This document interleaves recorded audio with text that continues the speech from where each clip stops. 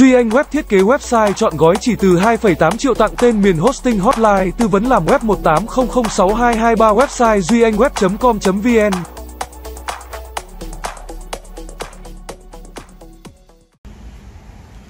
Ờ, xin chào các bạn, tôi là Duy Anh Nguyễn, giám đốc trung tâm đào tạo marketing online Duy Anh Web.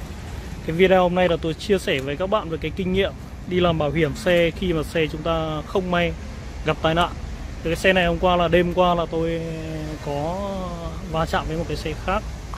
Thì là nó bị móc cái phần đuôi này này. Thì cái công cái công việc đầu tiên của các bạn mà khi mà có va chạm tai nạn giao thông ấy, là các bạn lấy cái số hotline này ở trên cái bảo hiểm này này, nó sẽ có một cái hotline. Các bạn sẽ lấy cái số hotline ở trong cái bảo hiểm này này. Đây là tôi dùng bảo Việt thì nó là cái số đầu 1900 gì đó ấy. tôi không nhớ lắm thì các bạn đầu tiên các bạn sẽ phải gọi ngay cho hotline để báo cái tình hình xe các bạn bị như nào.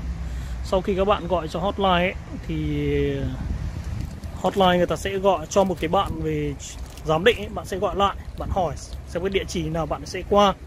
Thì bạn sẽ qua bạn đi vé sơ đồ hiện trường rồi gọi công an làm biên bản. Thì thông thường ấy nếu mà những cái cái trường hợp do các bạn gây ra lỗi mà nếu mà giải quyết tình cảm được mà nó dưới 10 triệu ấy, thì nên giải quyết tình cảm cho nó nhanh. Còn nếu mà không giải quyết được thì ờ, bắt buộc là phải ấy thôi, phải dùng bảo hiểm, trách nhiệm dân sự bắt buộc thôi. Thì nó sẽ đền là chúng ta không quá 70 triệu một vụ.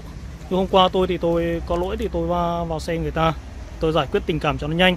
Còn phần cái phía xe của tôi ấy, thì tôi vẫn vẫn gọi bảo hiểm và vẫn gọi công an ra xác minh để tôi làm bảo hiểm để để, để được đền bù cái phần thiệt hại xe của tôi còn cái phần xe của người ta ấy thì đúng ra nếu mà không muốn mất à, không, Duy Anh Web liên tục khai giảng khóa học bán hàng online đa kênh 4.0 cầm tay chỉ việc một kèm một hotline tư vấn khóa học 18006223 website duyanhweb.edu.vn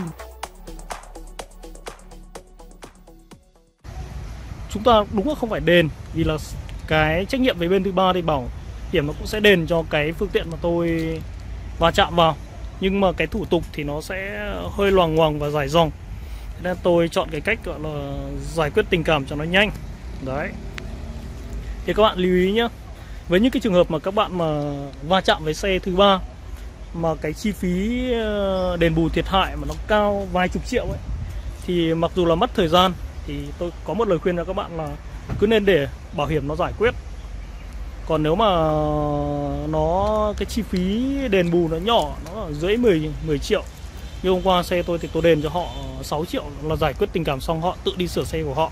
Còn tôi thì tôi sẽ làm bảo hiểm để bảo hiểm sửa xe của tôi. Thì cho nó đỡ phải là lằng ngoằng, thủ tục sau này.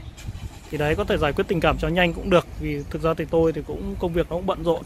Không có nhiều thời gian đi lo thủ tục này nọ thế nên tôi chọn cách là giải quyết tình cảm. Còn nếu mà không may các bạn mà gặp những cái trường hợp mà nó bắt đền các bạn hàng trăm triệu hoặc mấy chục triệu thì tốt nhất là thủ tục dài dòng, dườm ra hay là mất thời gian thì các bạn nên để bảo hiểm nó đứng ra, nó giải quyết cho các bạn. Các bạn chú ý nhé, khi các bạn mua bảo hiểm thì có hai loại. Đó là bảo hiểm thân vỏ, là bảo hiểm tự nguyện và một cái bảo hiểm nữa là bảo hiểm trách nhiệm bắt buộc. Đấy thì xe nào cũng phải mua. Cái đó thì nó chính là đền cho cái bên thứ ba về người hay là về tài sản của cái bên thứ ba có nghĩa là không phải bên bạn nhá là là bạn gây ra cho người khác thì bảo hiểm nó sẽ lo cái khoản đó cho bạn. Đấy là cái bảo hiểm trách nhiệm bắt buộc. Và một mỗi một vụ ấy thì nó rơi vào khoảng là không dưới không, không vượt quá 70 triệu đồng một vụ. Ok nhá. Không may này tôi bị móp đèn này. Thế nên ờ, cái việc mà mua bảo hiểm vật chất và bảo hiểm bắt buộc là tôi khuyên các bạn là nên mua. Tại vì sao? Thực ra không ai mong muốn là chúng ta phải đi làm bảo hiểm như này. Đây là cái chuyện mà nó không mong muốn, Nhưng không may mà chúng ta bị thì có bảo hiểm thì nó cũng giảm tải được một cái phần nào kinh tế về nhiều thứ. Đây là nhẹ này thì nó cũng cũng không có vấn đề, nó không thể hiện một cách rõ ràng. Nhưng nếu không may xe các bạn mà bị nặng, tiền sửa chữa lên lên vài trăm triệu thì các bạn mới thấy là cái bảo hiểm thân vỏ nó nó trị giá như nào. Ok một chút giới thiệu về tôi đây Trung tâm đào tạo marketing online duyên Web thường xuyên khai giảng các khóa học bán hàng online. Phí là 3 triệu 8 cầm tay chỉ việc đến khi nào thành thạo thì thôi. Ngoài ra chúng tôi làm dịch vụ thiết kế website giá rẻ chọn gói 2,5 triệu. Bạn nào có nhu cầu đi học bán hàng online hoặc là thiết kế website giá rẻ thì có thể liên hệ trực tiếp với tôi theo số điện thoại 0915 852 256 hoặc là 0985 852 256 hoặc các bạn có thắc mắc gì về những cái vấn đề về bảo hiểm ấy, thì các bạn có thể uh, alo cho tôi tôi sẽ rảnh, tôi sẽ tư vấn, miễn phí cho các bạn. Hoặc là các bạn có thể comment bên dưới video nhé đừng quên like và subscribe kênh youtube trung tâm đào tạo marketing online doanh web để thường xuyên đón nhận những cái video bổ ích về marketing hoặc là về kiến thức về xe hoặc là những cái kinh nghiệm đi xe hoặc là những cái vấn đề liên quan đến xe cộ.